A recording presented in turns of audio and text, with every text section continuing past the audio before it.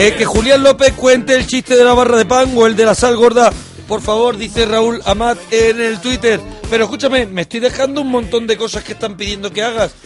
¿Sabes? Así que, claro, la gente tiene ahí lo Pero- de los pero a mí vídeos. me gustan hacer Ya, ya, otras ya. cosas. O sea, distintas. El chiste No, venga. de, de la barra y la sal, yo no los conozco. ¿El de la sal gorda no lo conoces? No. Venga, ahora lo voy a contar. ¿El de la barra El, el de no, el de la sal gorda. es mejor? La sal gorda lo, lo voy a contar. Claro, ahora me quedo pensando, ¿y la barra por qué no me Ah. lo contará? No, pues luego lo ves en YouTube. A ver, de las... ¿El de la sal gorda? Vale.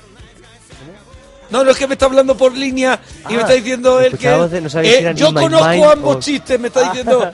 eh, Hombre, el, claro, el señor que está, están detrás del cristal porque es mejor que estén allí. Eso es lo que llaman la pecera en la radio, ¿no? Eso es, pero no hay agua ni nada. Que, yo digo, digo, a ver, ¿por qué no? Porque le llaman la pecera. está por seguridad y Por- dentro.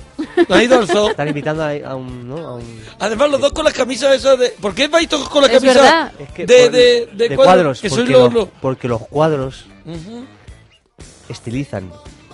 No me digas, ¿sí? ¿En serio? El cuadro- sí, las rayas estilizan. Y...